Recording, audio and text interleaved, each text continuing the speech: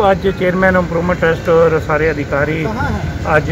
ਆਏ ਆ ਔਰ ਉਹਨਾਂ ਦੇ ਨਾਲ ਸਾਰੇ ਅਧਿਕਾਰੀਆਂ ਨਾਲ ਮੀਟਿੰਗ ਕੀਤੀ ਹੈ ਕਿ ਜਿਹੜਾ 22 ਨੰਬਰ ਫਾਟਕ ਤੇ ਪੁਲ ਬਣ ਰਿਹਾ ਉੱਥੇ ਬਹੁਤ ਸਾਰੇ ਲੋਕਾਂ ਦੀਆਂ ਸ਼ਿਕਾਇਤਾਂ ਹੈ, ਬਹੁਤ ਸਾਰੀਆਂ ਮੁਸ਼ਕਲਾਂ ਲੋਕਾਂ ਦੀਆਂ